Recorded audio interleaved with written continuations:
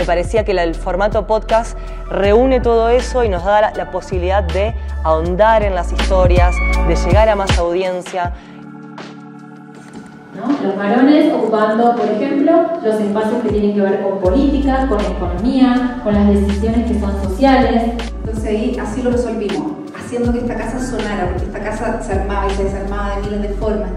No creo que, sea una competencia la radio, más allá de que sigue muy fuerte en muchos de nuestros países, eh, creo que el podcast está creciendo muchísimo y que lo veo como un complemento. Para algunas cosas, para algunos momentos me gusta escuchar radio, en otros me gusta escuchar podcast, pero el podcast nos permite eso que, es tan maravilloso, que es llevarlo a donde sea, escucharlo donde sea. Tranquilamente, igual que en otros contextos, decimos otras cosas.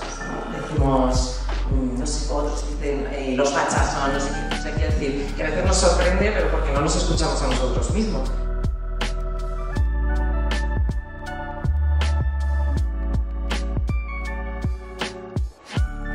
Los podcasts funcionan porque alguien me lo ha recomendado, alguien que me cae bien me lo ha recomendado. Creo que, que, los podcasts son una gran herramienta también para hablar de diversidad de género, de casos con perspectiva de género para dedicarle más tiempo a las historias. Y ahí también, por primera vez desde un espacio de audio digital, pudimos hacer esto que a mí me interesa tanto, que es esta mezcla.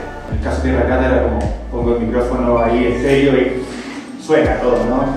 Y cómo las historias las cuentan esas personas, porque no es lo mismo que la cuente la periodista que siguió el caso, que la cuente la periodista tal vez narrándolo, pero con las voces, con el tono, con la calidez, con el enojo, con la alegría de las voces de las y los personajes de esa historia.